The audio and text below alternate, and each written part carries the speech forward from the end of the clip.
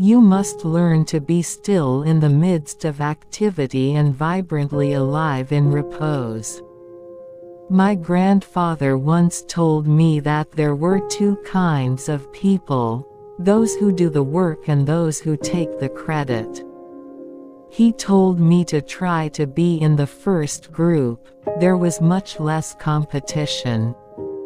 Happiness is a state of mind, you know. I don't think you are permanently happy. One is happy about certain things and not so happy about others. A nation's strength ultimately consists in what it can do on its own and not in what it can borrow from other. One must beware of ministers who can do nothing without money, and those who want to do everything with money.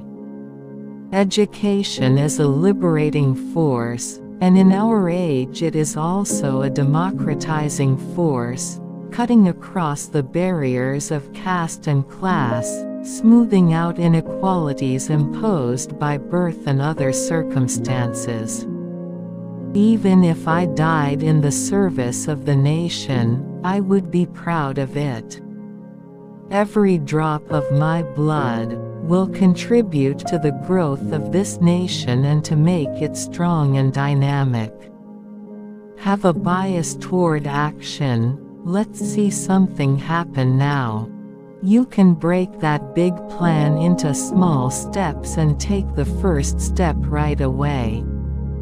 Opportunities are not offered. They must be wrested and worked for. And this calls for perseverance and courage. Life is a continuous process of adjustment. I do not like carving the world into segments, we are one world.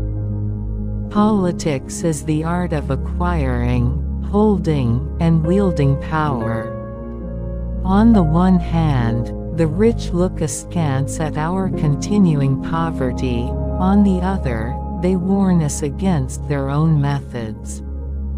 Winning or losing of the election is less important than strengthening the country.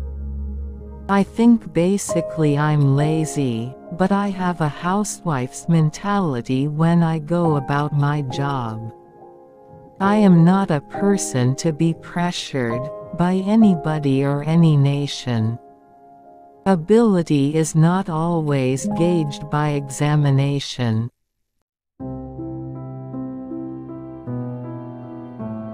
Indira Priyadarshini Gandhi Nehru, the 19th of November 1917 during Nehru's premiership from 1947 to 1964 Gandhi was considered a key assistant and accompanied him on his numerous foreign trips.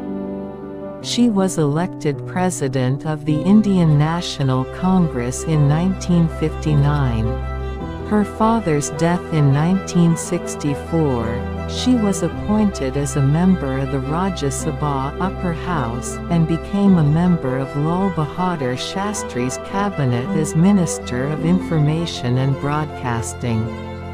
As Prime Minister, Gandhi was known for her political intransigency and unprecedented centralization of power. She went to war with Pakistan in support of the independence movement and War of Independence in East Pakistan, which resulted in an Indian victory in the creation of Bangladesh, as well as increasing India's influence to the point where it became the sole regional power of South Asia.